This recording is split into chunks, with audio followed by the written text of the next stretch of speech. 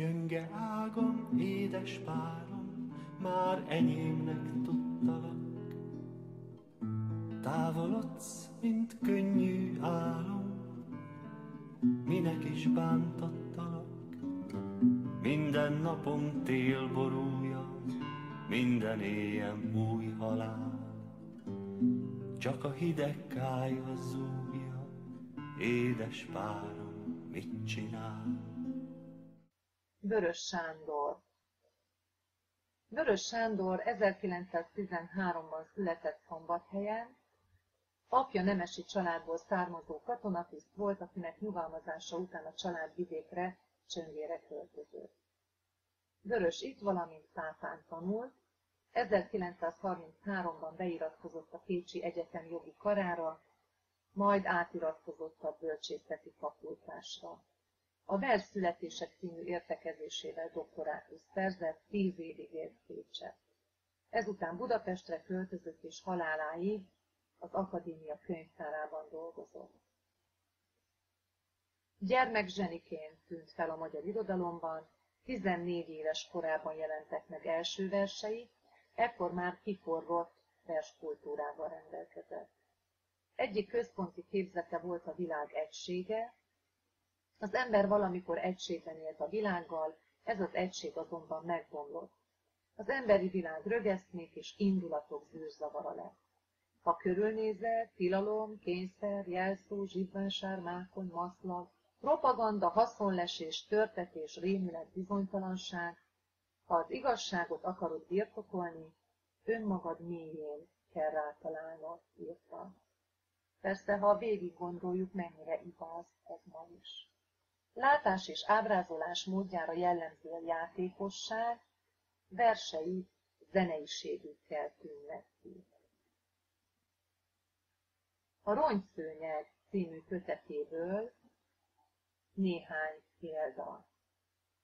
Óha cinke volnék, útra kelni, hömpölygő sugárban énekelni, minden este morzsára, búzára visszaszállnék anyám ablakára.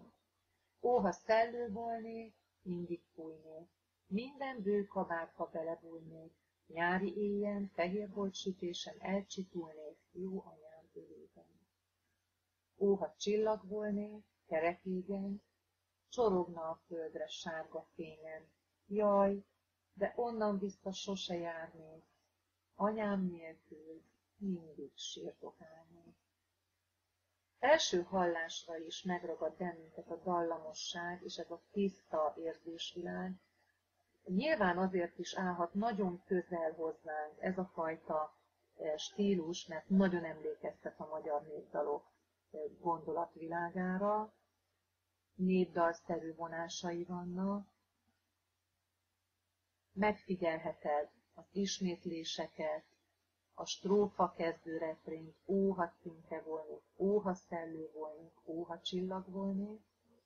Ezeket a nyelvi megformálásokat, mint a mesében a három kívánság sorolja egymás után,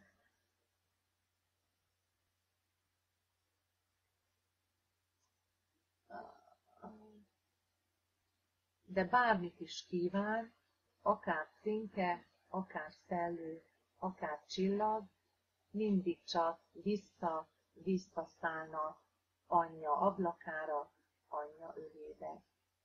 És a fő gondolata, ami miatt mégiscsak olyan szomorkás ez a vers, mert anyja nélkül az ember mindig csak szomorú, mindig csak sírtogál.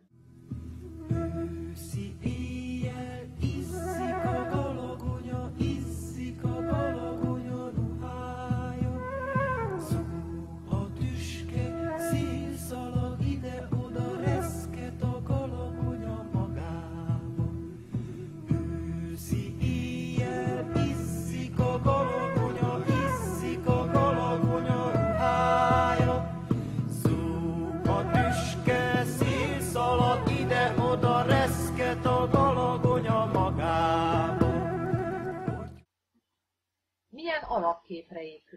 vers? És melyek azok a motivumok, amelyek megteremtik ezt a hangulatot? Milyen biblikus képpel állíthatjuk párhuzamba a vörösen izzó galagonya bokor vízióját? Hány egységből állhat a vers? Miért nevezhetjük szimfóniának vagy fúgának? Melyik egység milyen állapotot, helyzetet fest? Figyeld meg, hogyan épülnek ezek egymásra. Ezeket a verseket gyakran tekintik gyermekverseknek. Pedig Vörös Sándor nem gyerekverseknek szánta, a rímekkel, a ritmussal próbálkozott, és a verseléshez gyakorlatokat végzett, amikor ezeket írta. Ha gyerek olvassa, nyilván más dolgok jutnak eszébe, mint hogyha egy felnőtt. Őszi éjjel ízzik a galagonya. Mi jut eszedbe az ízzik szóról? A piros szín, mert a galagonya piros. De az ízzik szóról eszünkbe juthat a tűz, a forróság. De ízzik a gyerek homloka, amikor lázas. Szél szalad ide-oda, reszket a galagonya. Reszket a galagonya, mert nagy a szél és fázik. De reszkedhet a galagonya, hogyha lázas, mert ízik a homloka. Ha a holdrá fátyla tereszt, lányá válik, sírni kezd.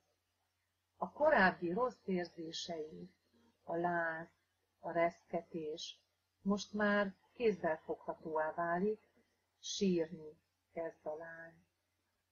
Ízzik a galagonya ruhája. Persze egy felnőttnek a tüskéről, a galagonyáról, a sírásról, akár valóban egy bibliai párhuzam is eszébe juthat Jézus fején a tüskekre szorul. Milyen képek és színeket látunk? Hogyan bővülnek a vers eddigi síkjai mozgással és hanghatással?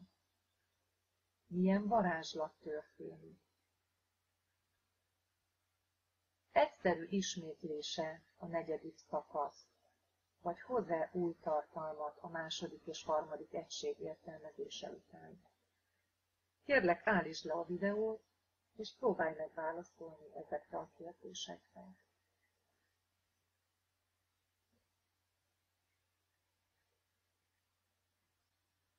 Az első verszak talán mozdulatlan.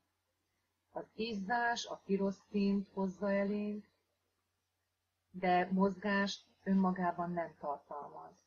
Ezzel ellentétben a második verszak határozott mozgást és energiát sugal, a szél szalad ide-oda, zúg, ez gyors mozgást e, idéz elénk.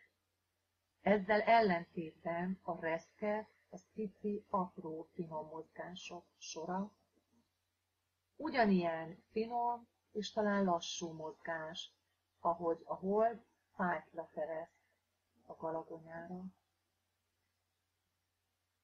És visszatérünk az első verszak ismétléséhez, ízlik a galagonya, ugyanakkor itt már talán nem csak a piros színe jut eszünkbe, mint amikor legelőször olvastuk.